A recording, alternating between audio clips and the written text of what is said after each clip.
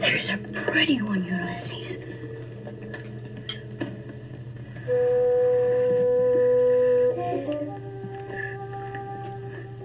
There it is. Hello BookTube, I'm Shawn the Book Maniac. Welcome back to my channel. Well, I lugged my portable lawn chair. I'm not feeling so portable the second time I drug, I dragged it out um, to a new park, new to you. I scoped it out a few weeks ago and this is my first time. This one's actually the second closest natural spot I can go to.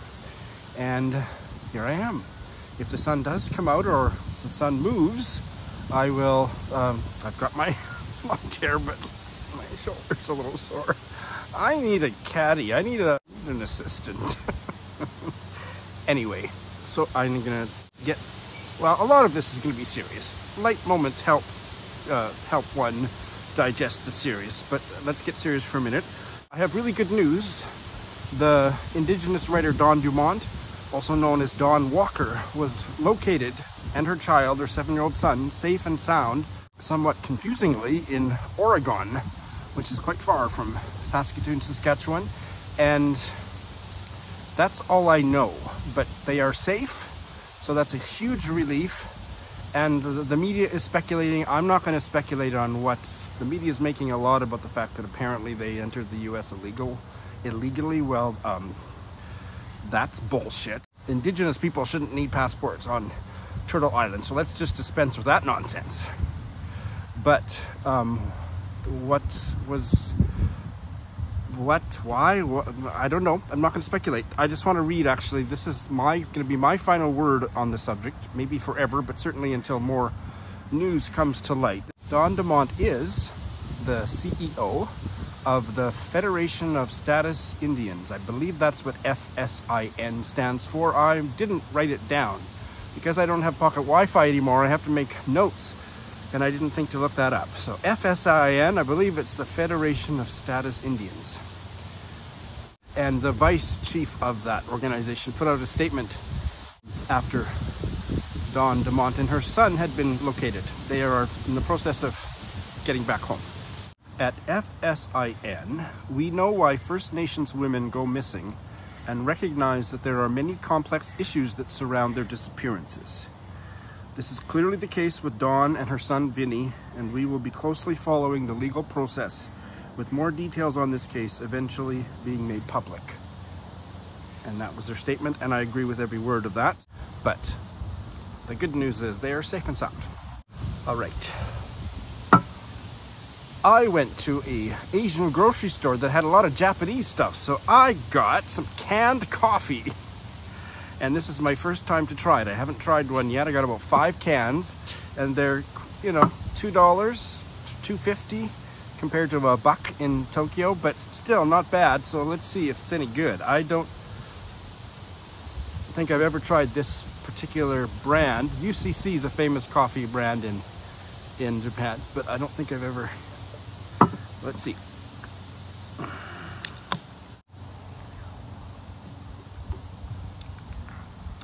Oh yes, takes me right back, as the Japanese say, Natsukashi, which means I'm feeling nostalgic. I'll be drinking these for the next few Friday reads. Or Saturday reads, which this is. Yesterday was cold and I decided I'm not gonna go out in the cold and I'm not gonna film inside. I'm gonna take an extra day and finish some stuff up. So I have lots to tell you about. I'm filming much later in the, in the morning. It's actually almost lunchtime. It's 10 to 12 because it's just too cold at 7 a.m. So, oh, I while I'm thinking of it, I want to clear up one thing that one uh, commenter said recently. When I film here, it's obvious I'm in a city park, I think, but when I film out back behind me in the golf course kind of park area there, it's so wild. It's so there's so much nature you can't really see any hint of civilization. Um, and so the commenter said I don't know how you can live in the countryside like that with no people around or no houses or something. And it's like, oh, I guess you could get that if you're just kind of dropping in and haven't been following along that that would that would be an understandable misunderstanding. So no, I do live in the city and I just happen to live, luckily, at the edge of this huge golf course and, and park. I'm actually in a city park today.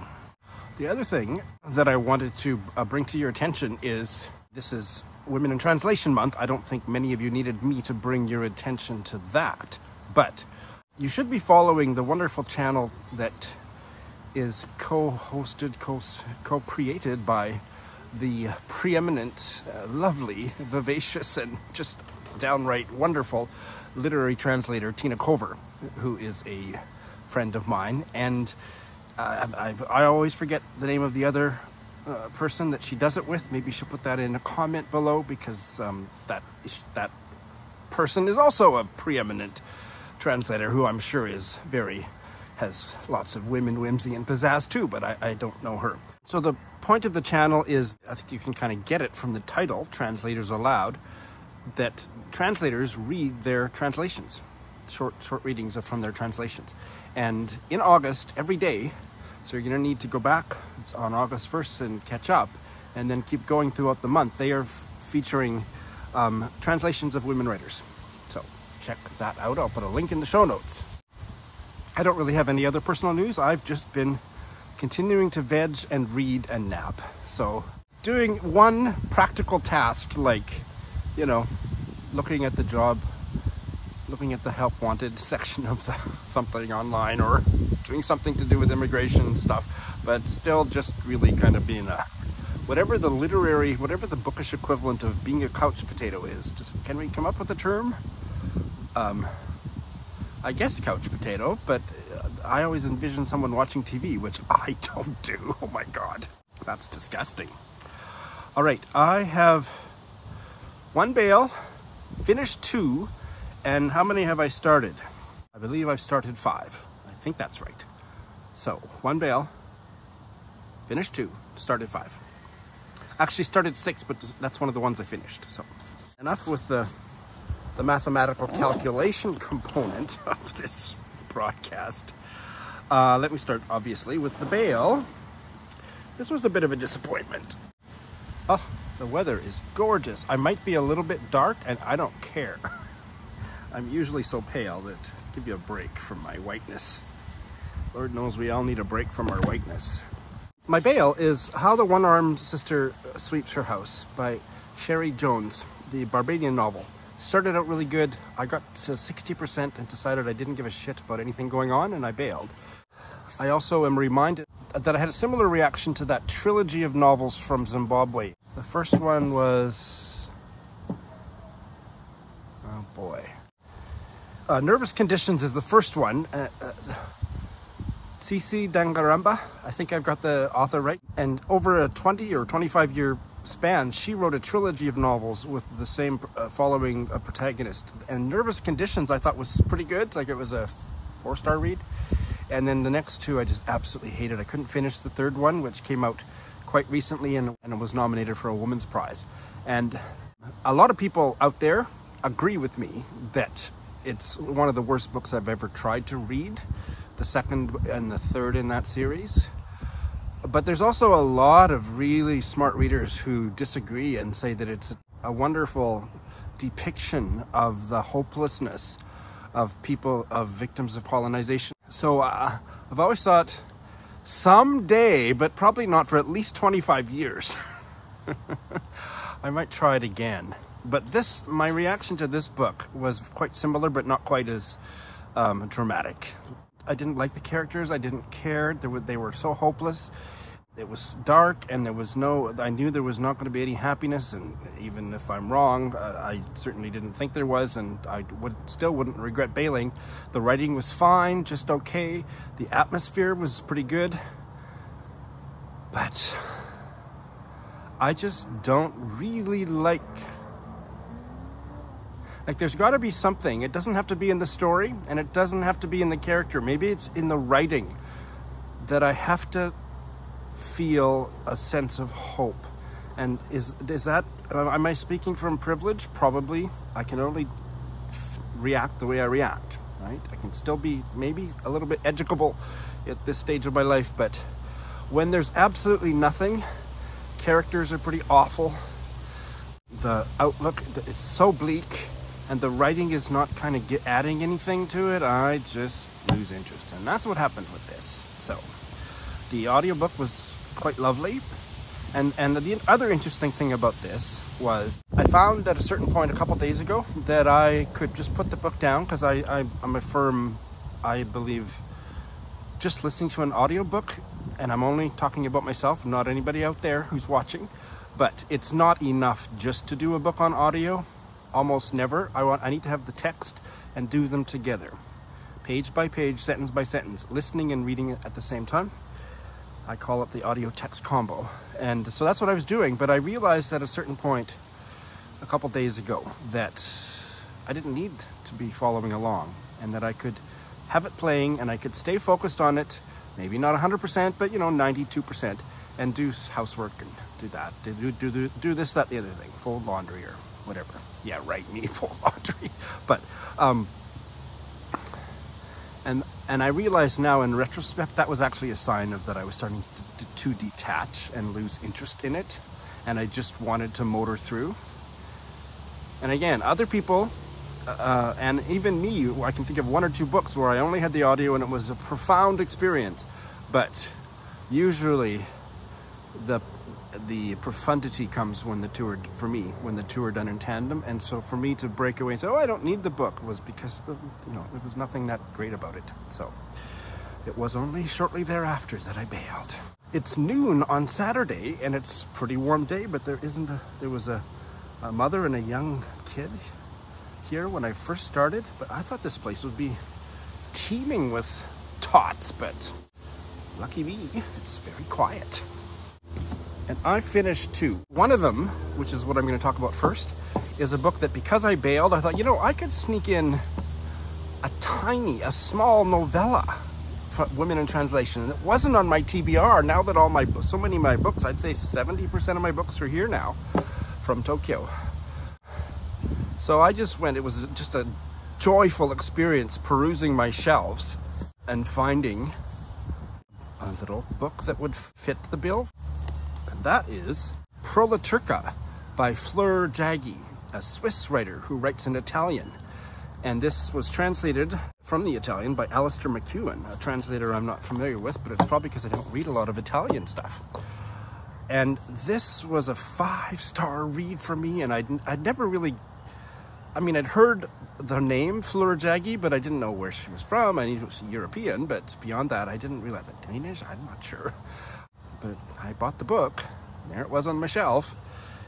And I loved it. I loved it in a sen- in the sense that it wasn't really a Shawn book, and I didn't feel emotionally connected to the characters, which is what a Shawn book gives me. But that that was actually the topic of the book, the lack of affect and uh, inability to express or feel really anything at all, certainly about one's immediate family members.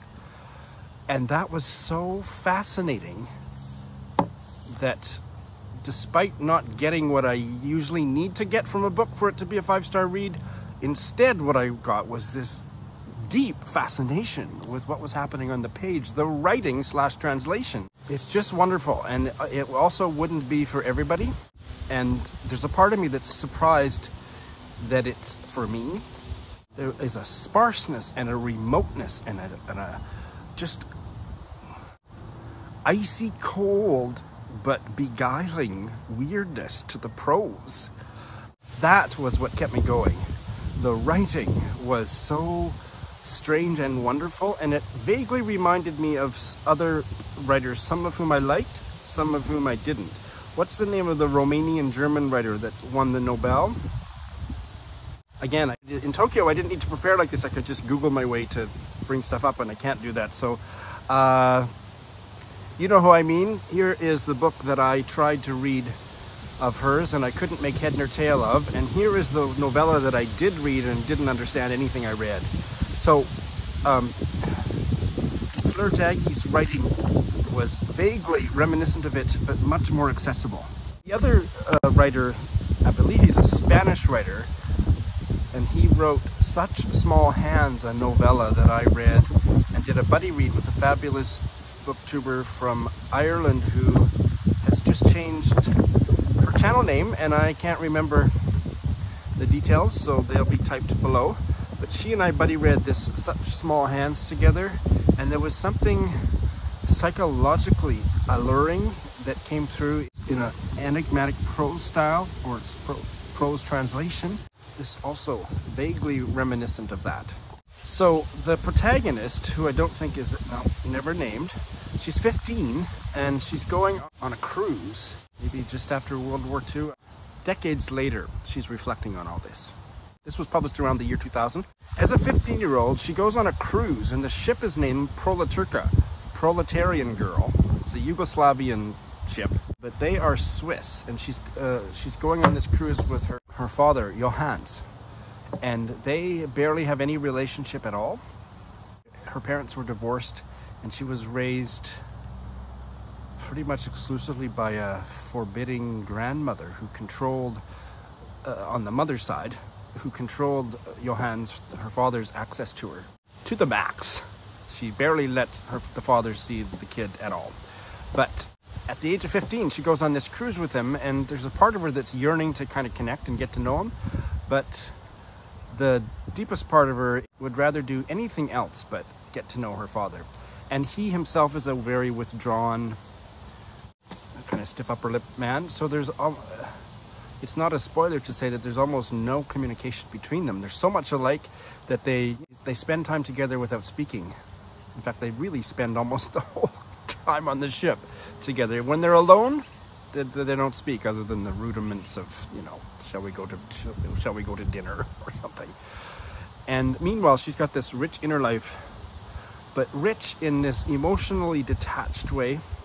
And she starts to experiment with sexuality. She loses her virginity with one of the ship what do they call them?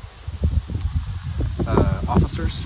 And in fact then starts to go through the whole the whole list of employees on the ship. One of the ways eh, that the remoteness and the disconnection from other people comes through is that she, this first person narrative, about four times each page slips into third person and it's just sometimes in the same sentence and it's done so well and it has such an effect uh, it had such an effect on me.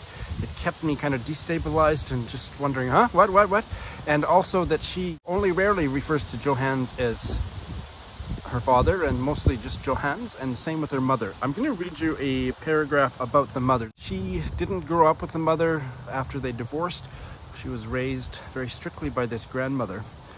Her, her mother was a, I think she might have been a professional pianist, but she certainly was an incredibly talented pianist and it was because Johannes' mother overheard her playing walking by their estate that the match was made between them. But anyway, that's all this woman had going for her apparently uh, our protagonist's mother. So here is a paragraph about this. And again, notice how it starts. Johannes's wife, my mother, used to play the piano. When I was invited to stay with her, I would listen to her for hours. Perhaps this is why I'm attracted to the sound of the piano. Like the unknown woman in the tract, if I hear the sound of a piano, I follow it. The sound of the piano represents all that I have not had. I used to hear it playing when I was very small, when she was still married to Johannes. Then that sound ceased. The rooms fell silent. I hated that silence without realizing it. The silence received from a man and a woman who were leaving each other and who had disposed of their daughter's life absolutely. To this day, when I listen to the piano, I am seized by a violent emotion. I do not know what it is, but my mind goes back towards something beautiful distant, destroyed. Simply because Johannes's wife, my mother, deceived me. By playing the piano, she spoiled my feeling for music. So, that actually adds some nuance to what I said, that there's no emotion in the story. So the emotion comes out sideways, it comes out in this kind of a, a passage, but it also comes out in the way that she views um, all furniture as being having being animated and uh, containing a lot of emotion. So there's so much projection and stuff going on and it's so beautifully written and I think I'll stop talking about it there, but I was blown away by Proleterka by Fleur Jaeggy, translated from the Italian by Alastair McEwen. Wasn't on my Women in Translation Month TBR, glad that I snuck it in anyways. Oh dear, I'm probably getting the beginning of a sunburn on the back of my head, so I'm just gonna move down to the shadier spot. I think that would be. There, now you've got that ugly garbage can in the background, but my head will not be getting burnt at the back, so that's how it's gonna be. I would like to introduce a quote from one of my favorite writers, whose third work of fiction I have started and I'll be talking about later today. This is from A Constellation of Vital Phenomena, which is one of my favorite novels of all time. And in fact, I just quoted it when I had a bite-sized book chat with Nancy about the latest novel. This question is what animates most of the books that are Shawn books that I love. If, uh, uh, probably any of the top five or ten books of my reading life address this question. One of them being the book that this quote came from, and here it is. What did any one person matter when pounded against the anvil of history? And I thought about that quote as I started, as I began reflecting on this week's reading, what I'd finished and what I'd started, because almost all of them seem to be addressing that question, the, the individual against historical forces, and uh, usually of an oppressive nature. Four lovely kids just arrived with their mom, so there's going to be some chattering in the background, but I don't think it'll be too... I, mean, I am doing this right beside a playground, so, you know, them the, them the breaks. The other book I finished is also a woman in translation book, but I started it in May, um, but I finished it at the beginning of Women in Translation Month, and that is Natascha Wodin's memoir. She came from Mariupol, translated from the German by Alfred Kueppers. Oh my God. This was an unbearably heartbreaking, incredibly important book, one of the best memoirs I have ever read. And uh, I don't know that anybody else on BookTube has ever talked about it, so I'm going to talk about it at length, and I'm already looking at how much time I'm talking, so the rest of it you're going to get short, short little snippets about, but this one I have to talk about it. Natascha Wodin is a German writer who was born in Germany in 1945 to uh, Ukrainian parents born in a slave labor camp in Germany and then the war ended later that year and then they became displaced persons but their lifestyle of living in a displaced persons camp under the allied americans and whatnot was not much better. And her mother committed suicide when she was about 10 or 11 at, by which point that they were living in their own home that was uh, that was a lot nicer than where they had started out from in Germany, uh, dealing with a lot of racism and uh, prejudice uh, from Germans and she didn't know very much about her mother's background. She remembered a few things her mother told her, and she didn't have very much to go on. She knew that she was born in Mariupol, Ukraine, um, in the early years after the, the revolution, the Russian Bolshevik Revolution. But she didn't know very much. In recent years, she would be in her late 70s, so maybe in her early 70s, I'm not, I'm not sure when, but certainly well into the internet era, she decided to do some genealogical research and very quickly started to put the pieces together.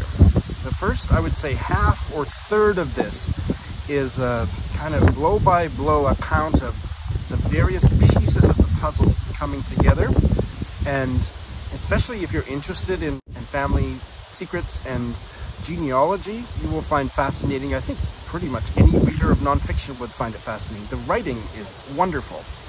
And the story of this family is so wild. She assumed that her mother came from lower class because of how, where she ended up, doing slave labor in, in uh, Germany. And she quickly found out, and I'm not going to give very many spoilers, but uh, this happens quite early in the book, that uh, she finds out that actually, no, she came from formerly very well-to-do upper-class Ukrainian hyphen Italian family. I believe the author Natascha Wodin's grandmother was um, Italian. And they were a very prominent family in Mariupol who quickly uh, were disabused of and stripped of, almost all of their privileges in the early days of the Bolshevik Revolution.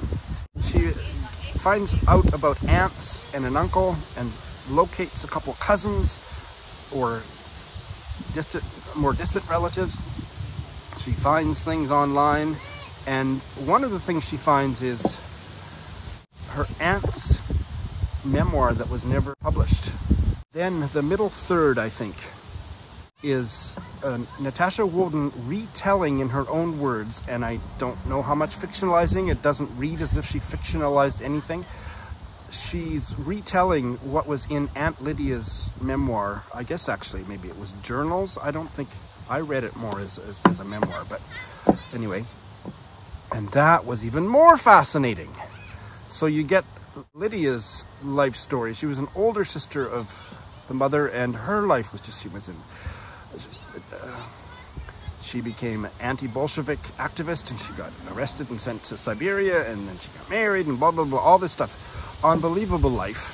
Tragic, with all kinds of tragedy and, and horrific stuff. And then the fourth part of the, the fourth part of she came from Mariupol is now that she has all this context that she never that she hadn't had before, Natascha Wodin tells the story of her parents and what she had always known about them um, and their terrible, wretched lives as slave laborers in uh, Germany and then displaced persons and incredibly unhappy marriage. And the fact that her mother was a broken person from all of this trauma and um, the, the, anvil of history really pounded her down to she was uh, had terrible mental illnesses and eventually took her own life. And that story is is a heartbreaking conclusion. So this is not for the faint of heart.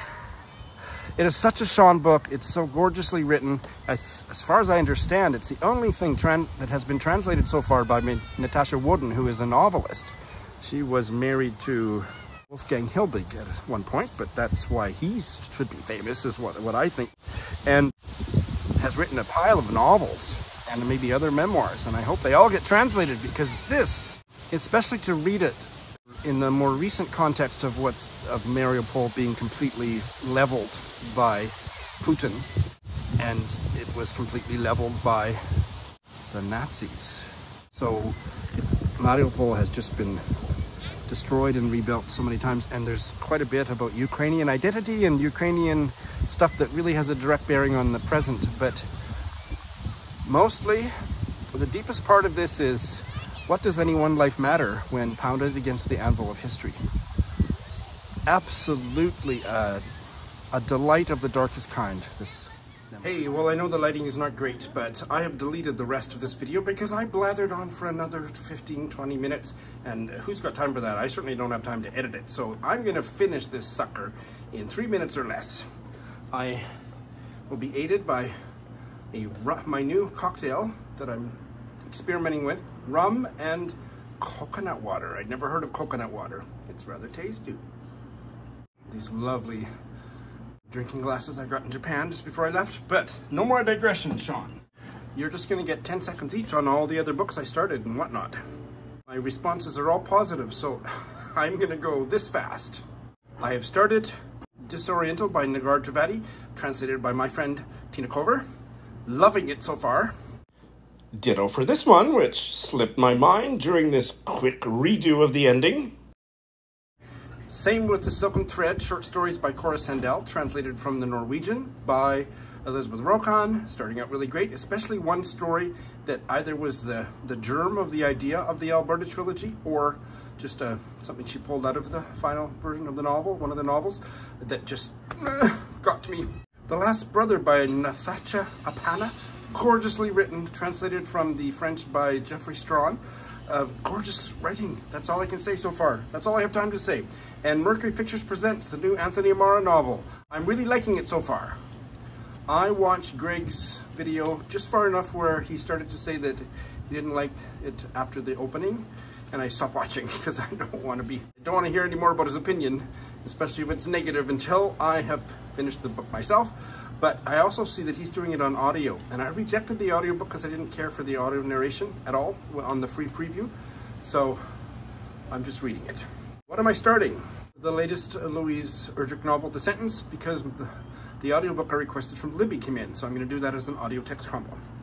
And the forthcoming memoir coming out next month by the lovely Ellen Cassedy, who's an author of quite a few nonfiction books and memoir, but also a translator of Yiddish literature into English, and I had her on as a guest on my channel. I think it was for Women in Translation Month last year. I will put a link to that lovely chat in the show notes. But this is her forthcoming memoir about her feminist union organizing in, I think, the 70s.